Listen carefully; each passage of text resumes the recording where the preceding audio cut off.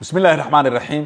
golaha wasiirada ee xukuumadda jamhuuriyadda federaalk ee soomaaliya waxaa caawa uu yeeshay kulan aan caadi ahayn oo deg dega oo uu shir guddoominayey ra'iisul wasaaraha xukuumadda mudane xamse cabdi barre. Kulankan golaha wasiiradu waxa ay ka soo saareen qaraar golo wasiire oo ku saabsan jubbaland. Golahu markii uu arkay qodobada sagaashan iyo sagaalaad iyo boqolaad ee dastuurka kumeel gaarka ah ee jamhuuriyadda federaalk ee soomaaliya markii uu arkay qodobka afraad ee dastuurka kumeel gaarka ah ee saraynta dastuurka markii uu arkay qodobka konton shanaad sharci lamber labaatan iyo afar ee soo baxay ko soddonkii maarso laba kun iyo labaatan iyo afar kuna saabsan wax kabedelka cutubyada koowaad labaad saddexaad iyo afraad ee dastuurka ee dhisaya guddiga madaxa bannaan ee doorashooyinka qaranka iyo sohdimaha kaasi oo u xil saaran maamulka doorashooyinka dalka iyo maarayntooda heer kasta si loo helo doorashooyin qof iyo cod ah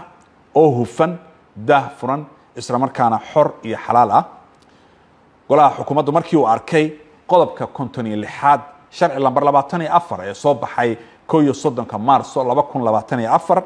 kuna saabsan wax kabedelka cutubyada koowaad labaad saddexaad iyo afraad ee dastuurka ee nidaaminaya xilka guddiga madaxa bannaan ee doorashooyinka qaranka iyo sohdimaha markii golahu uu arkay heshiiskii golaha wadatashiga qaranka oo ay dowladda federaalka iyo dowlad goboleedyada oo ay ku jirto dowladda jubbaland ay ku gaareen magaalada muqdisho. Taariikhdii markay ahayd toddobiyo labaatankii bishii maajo laba kun labaatan iyo saddex.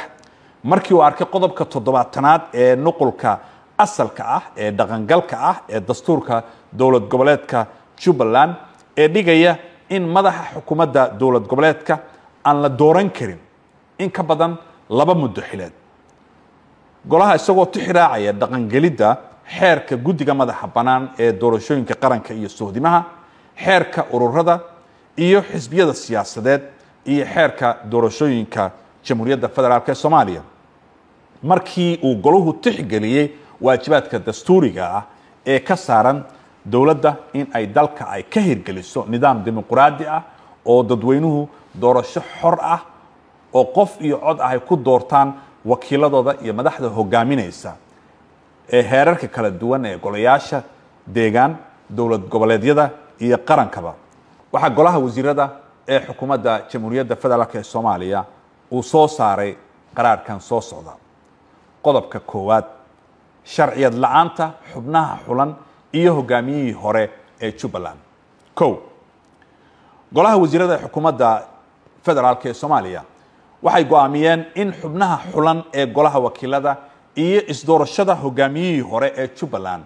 ay labaduba yihiin kuwa sharci darro ah oo aan waafaqsanayn qodobka konton iyo shanaad iyo qodobka konton iyo lixaad ee sharci lamber labaatan iyo afar ee soo baxay ko iyo soddonkii maarso laba kun labaatan iyo afar. Kuna saabsan wax kabedelka cutubyada koowaad labaad saddexaad iyo afraad ee dastuurka. Islamarkaasina aan waafaqsanayn xeerka guddiga madaxa bannaan ee doorashooyinka iyo sohdimaha xeerka ururada iyo xisbiyada siyaasadeed iyo xeerka doorashooyinka jamhuuriyadda federaalk ee soomaaliya. Labo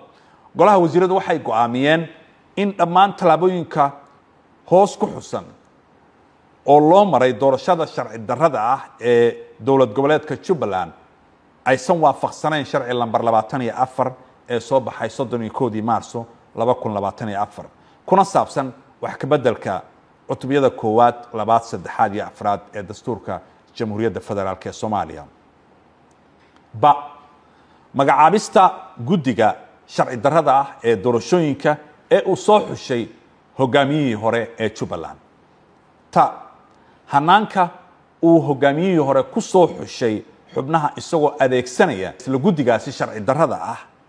ee doorasho oo uu isagu soo xushay ja isdoorashada guddoon baalmarsan sharciga oo uu soo xushay hogaamiyihii hore ee jubbaland. Xa isdoorashada hogaamiyihii hore ee jubbaland. Saddex golahu haddaba waxa uu farayaa gariiqaanka guud ee dowladda federaalka ee soomaaliya in uu si deg deg ah uga howlgalo horgeynta maxkamadda sare ee dalka dacwad lid ku ah dhammaan tallaabooyinka aan waafaqsanayn xeerarka guddiga madaxa bannaan ee doorashooyinka qaranka iyo sohdimaha. Xeerka doorashooyinka jamhuuriyadda federaalk ee soomaaliya iyo xeerka ururada iyo xisbiyada siyaasadda ee uu ku kacay hogaamiyihii hore ee jubbaland axmed maxamed islaam. Qodobka labaad dhaqangalka qaraarkan golaha wasiirada. Qaraarkani waxa uu dhaqan galay caawa oo si buuxda u ansixiyeen dhammaan golaha wasiirada isla markaana uu saxiixay ra'iisul wasaaraha xukuumadda mudane xamse cabdi bare wabilaahi towfiiq